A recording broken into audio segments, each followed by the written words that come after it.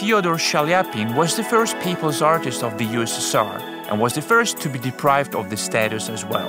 This was due to his charity work. On tour to Europe, he gave his award for a concert to the children of immigrants.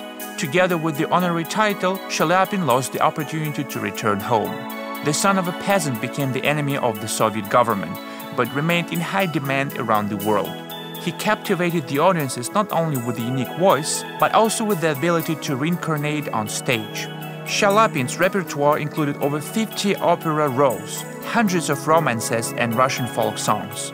He conquered the stages of the best theaters in the world. In addition, he successfully tried himself as a painter and a sculptor.